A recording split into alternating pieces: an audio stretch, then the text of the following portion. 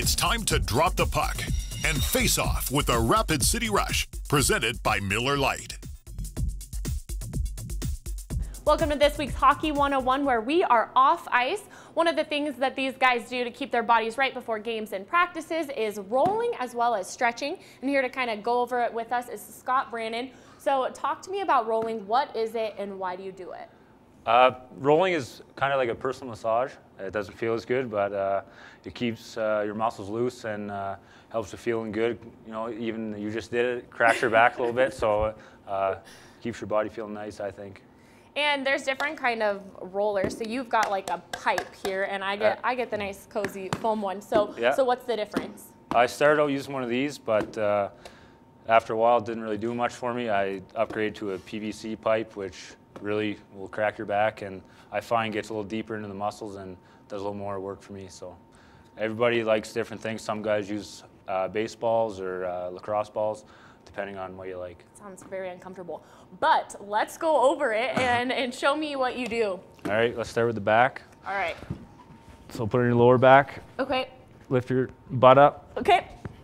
hands over here, and then just roll down using Oh your my legs. goodness. It is kind of nice.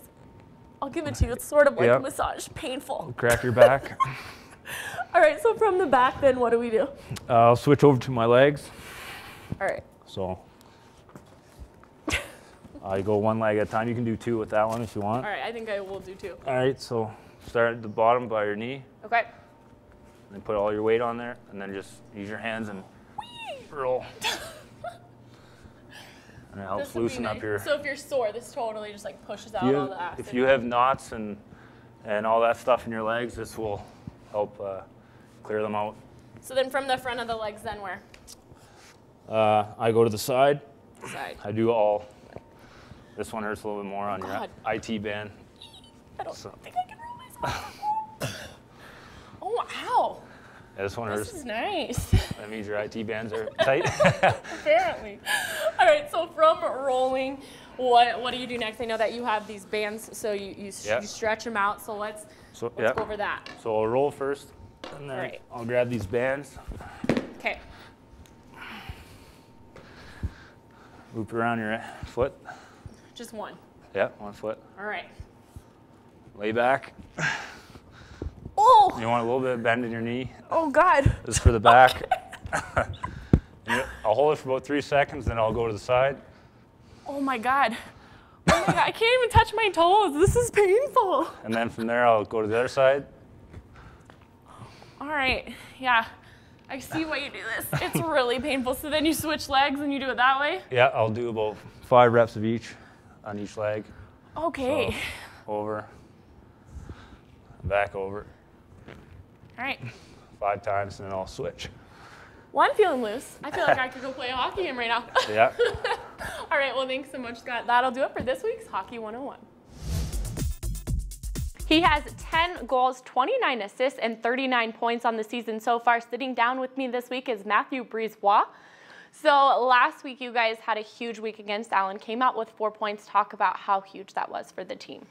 Uh, yeah, for, for the race in the playoff, those four points were really huge, like you just said. Um, we, we went in this weekend and we knew we had at least one one or two to to have points for the playoffs, and we just went in, worked hard, and ended up with a, a four points. So that's pretty good. And on Saturday, you guys rocked those awesome specialty jerseys for St. Patrick's Day. Um, you scored the first goal, first power play goal, I believe. And um, you are also second in power play points for defensemen. So just kind of talk about how strong you have been on the power play this year. Um, I mean, it's it's pretty easy when you play with good guy like Schulte, Cody. They're just giving you right on the on the perfect tape, and you just need to put it in. So no, I mean, it's uh, I need to get credit to, credit to them. So yeah, that's it. You started your season off uh, with the Indy Fuel, and now you are here with the Rush. So kind of talk about the transition, and is it hard at all kind of trying to find the chemistry with a new team? Um, not not really. Like when when you got traded, uh, I mean, it's probably for best for you and for the team. So when you get in, I I I think everyone is happy to have you in and just make you walk more than welcome. And we're all fighting for the same thing, uh, making playoffs. So I mean, it's no, it's pretty easy. And you have signed with the uh, Chicago Blackhawks, correct? Correct. So you were on a you're on an NHL contract, and so you've played in the A, and now you are here. So kind of talk about that. Uh, last year I was playing the AHL, like you just said, uh, for all year, and then this year uh, Chicago made a couple trade and they had um, a lot of veterans. So they, instead of playing one game out of two in the in the stands, so they just told me, yeah, I go um, in the East Coast, uh, improve your defensive uh, side, and uh, next year maybe you're gonna come back here. So just for improving my defense. That's very cool, and I know that was a goal for you, right? Yeah. To, to get signed is, is was the big goal, everything you worked for. Yeah, when, when I was in junior, I was working every day to get sign a contract and end up paying. So. Um, talk to me about how you got involved into hockey. I know you said that you didn't really like it at all when you first started. So No. what changed? I, I don't know. My dad at first was like, "Yeah, I want you to uh, play hockey." So he put me on his skate, and I was just crying to get off the ice. I was like, "No, I can't do it." And a year later, I was just seeing all my friends playing hockey. I was like, "Oh, well, maybe I should go back on the ice." And I went back, and since this time, I, I just want to keep skating on my in my feet all the time. And your dad's had a huge influence on your life, got you into it, obviously. So talk about the role he's had in your life. Uh, yeah, all my life, and sometimes it was just I didn't want to go on the ice. I was kind of more want to play with my friends. I was like, no, you need to, uh, to go on the ice, improve it. Uh, So I just listened to him and end up paying and signing a contract in the NHL. So I'm more grateful for him.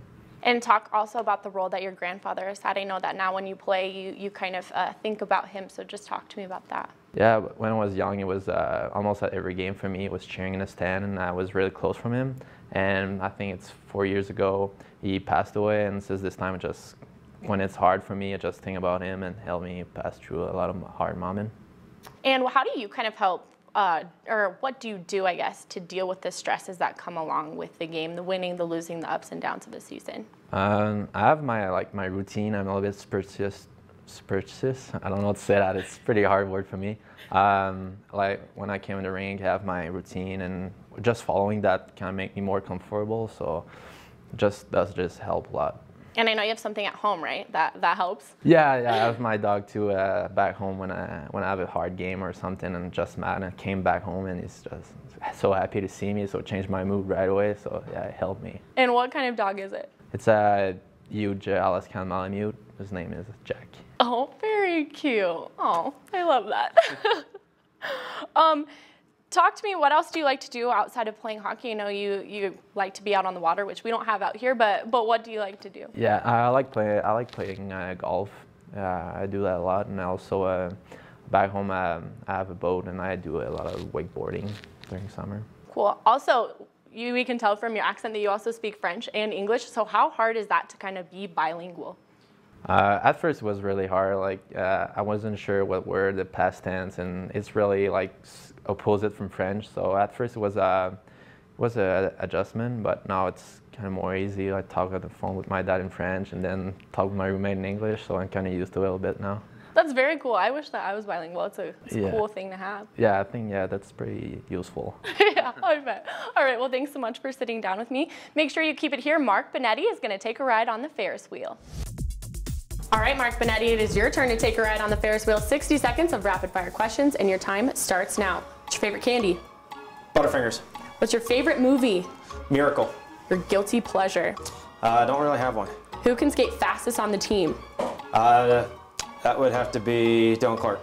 Boxers or briefs? Boxers. Would you rather have the ability to be invisible or the ability to fly? Fly. Who has the best sense of humor in the locker room? Brandon Martell. Your favorite type of music? Uh, Billy Joel. Anything written by him. Favorite song? Piano Man. Your best pickup line? Uh, trust me, I used to be a scientist. Who on the team has the best hair? Joey Sides. Give us your best Joe Ferris impression. Marcus, Marcus, it's unbelievable. What's your favorite part of being a part of the Rush organization? Um, the great players I get to call every night and the fans. If you could be any animal, what would you be? A wolf. Favorite NHL team? New York Rangers. Your dream vehicle? Uh, probably be a Sapphire Blue Mustang convertible. Blondes or brunettes? Both. Who has the best shot on the team? Me. Tell us one thing that you have to do as the broadcaster before every game. Listen to Piano Man. All right, congratulations, Mark Minetti. You survived the Ferris wheel. Awesome.